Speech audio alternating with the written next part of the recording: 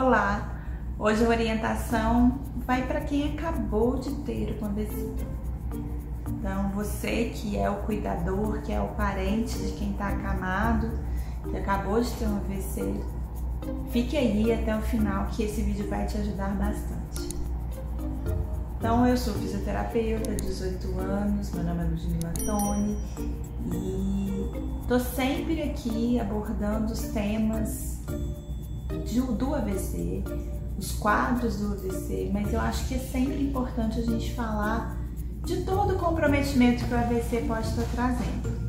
Então, o comprometimento inicial, ele é diferente na maioria das pessoas, mas tem muita gente que fica camado, ou porque o AVC foi muito extenso, teve que fazer algum tipo de cirurgia e aí realmente teve alguns comprometimentos maiores.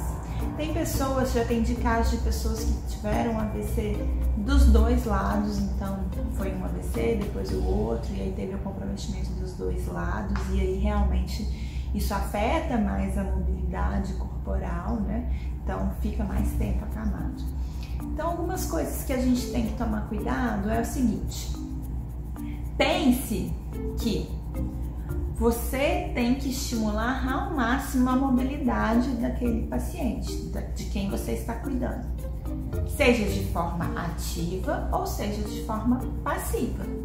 Então, se o seu pai, a pessoa que você está cuidando, a sua mãe, enfim, seja lá quem for, não consegue se movimentar no leito, nada, movimente por ela. Então vai devagarzinho, vai movimentando os pés, vai movimentando as mãos, tudo sem dor. Se gerar dor, aí não é legal você seguir em frente, tá? Então vai movimentando. Então a mão tá parada, movimenta devagarzinho.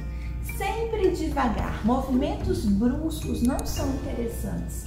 Mesmo que o tônus ainda não esteja alto, né, a gente pode gerar alguma alteração articular, alguma lesão. Então, movimentos devagar, Então, essa é uma primeira dica.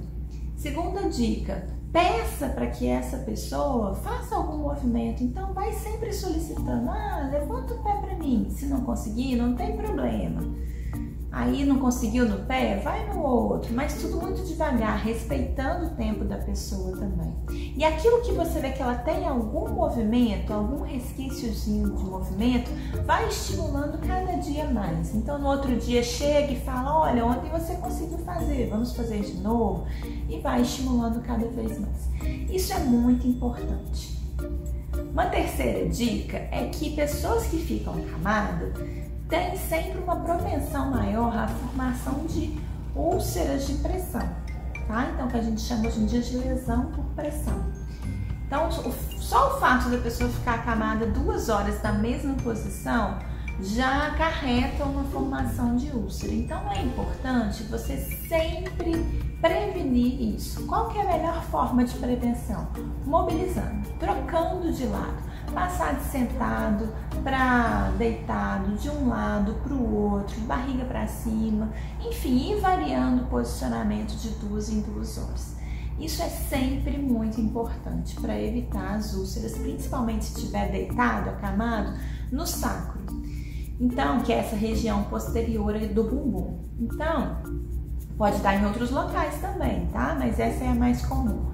Então, é, essa se torna a terceira dica. Tome muito cuidado com as, com as lesões por pressão. E é sempre bom a gente ir fazendo essas, esses, essas trocas que a gente chama de decúbito, tá? Mais pra frente eu vou fazer uma aula para vocês só de lesão por pressão e os cuidados que pode ter. Se você se interessar, comenta aí para mim que aí eu mais pra frente trago esse material para vocês.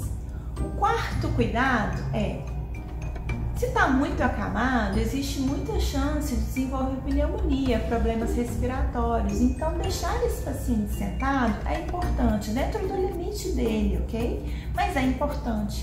É importante ele se sentar, ele manter um posicionamento diferente do posicionamento deitado. Então, isso é bastante importante para evitar problemas respiratórios futuros, tá? Então, essas são as quatro principais dicas que eu posso te dar aqui. Tem outras, mais para frente eu continuo falando sobre paciente acamado. E se você tiver alguma dúvida, alguma sugestão, comente aí nesse vídeo.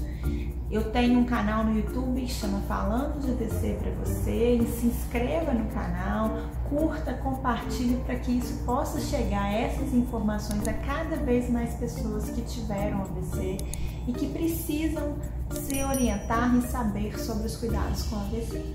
Então, é, compartilhe aí, curta, comente, que eu tô aqui sempre falando de ABC para você. Um grande abraço.